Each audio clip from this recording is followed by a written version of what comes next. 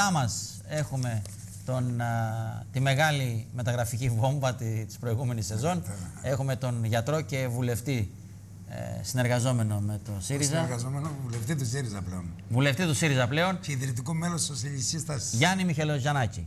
Καλώς ήρθατε, γιατρέ μας. Καλημέρα και καλό φθινόπωρο. Εσείς τώρα περιμένετε με αγωνία. Πρωτοβρόχια σήμερα. Περι, πρωτοβρόχια. Περιμένετε με αγωνία την ομιλία του Σαμαρά ή εύχεστε να στραβοπατήσει ο Πρωθυπουργός; Να στραβοπατήσεις περισσότερο. Στην ομιλία του εννοώ.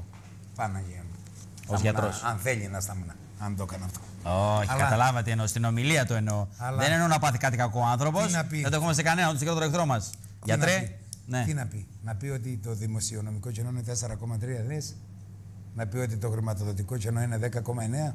Να πει ότι ο Να ΣΥΡΙΖΑ πει δεν είναι ότι εναλλακτική την λύση. έκτακτη εισφορά θα την έχει βάλει μέχρι το 2016.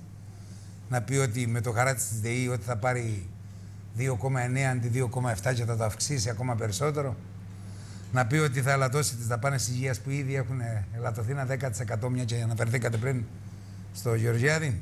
Να πει ότι πρέπει να κάνει απολύσεις 12,5 και 12,5 δηλαδή 25.000 κόσμος μέχρι τη- σε δύο μήνες ακόμα, σε 8 εβδομάδες μέχρι τέλη Δεκεμβρίου.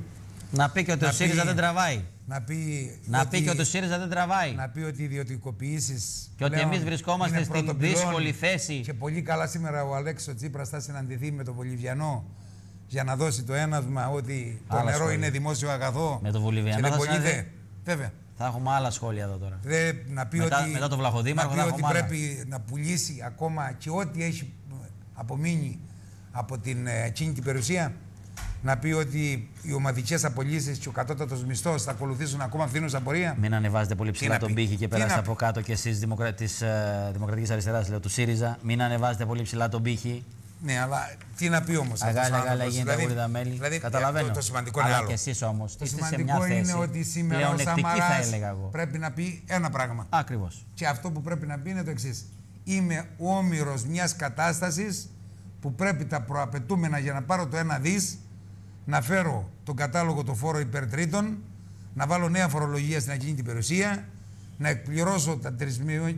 τους στόχους μου, τους τριμηνιαίους στα έσοδα, να αναδιαρθρώσω τις τράπεζες. Προκαταλάβατε την ομιλία. Έτσι, αυτή Περιμένετε είναι να η ακούσουμε ομιλία. την ομιλία. Αυτή είναι η θα ομιλία. μιλήσει για πρωτογενές πλεόνασμα πρώτη φορά. Ποιο πρωτογενές πλεόνασμα; Θα Οι πει α- ότι αυτό οι θα πάει στους αλχημίες- χαμηλοσυνταξιούχους. Εγώ οι κάνω τώρα το αλχημίες- συνήγορο του διαβόλου, οι μια και δεν αλχημίες- Οι αλχημίες, το 1,1. Αλχημίε τώρα αυτές. Αλχημίες. Μια Άμα- φορά δεν θα πείτε αν ότι βγάλεις- βρισκόμαστε στο αν σωστό δρόμο. βγάλεις- ε, ναι, ας βάλεις μέσα Θα στο έχετε μια πρόγραμμα- μηδενιστική να πολιτική βάλει- από την αρχή μέχρι το τέλος. Να βάλει το πρόγραμμα δημοσίων επενδύσεων και τα ληξιπρόθεσμα και αν βγαίνει ληξ- ε, πλεόνασμα να το πει. Θα το πει. Ε, αν χωρίς πρόγραμμα δημοσίων επενδύσεων, αλχημίες, κοροϊδία, αυτά θα πει σήμερα. Αυτά θα θα τον πάρουν με τις πέτρες. Και πρέπει να τον πάρουν με τις πέτρες αν πει αυτά. Για όνομα της Παναγίας. Τι να πει σήμερα, τίποτα δεν έχει να πει. Ο αρχηγός της αξιωματικής αντιπολίτευσης σήμερα θα είναι μέσα στους διαδηλωτές. Και μπράβο του, και μπράβο του. Αντώνη Σαμάρα, πάμε να δούμε τι θα πει.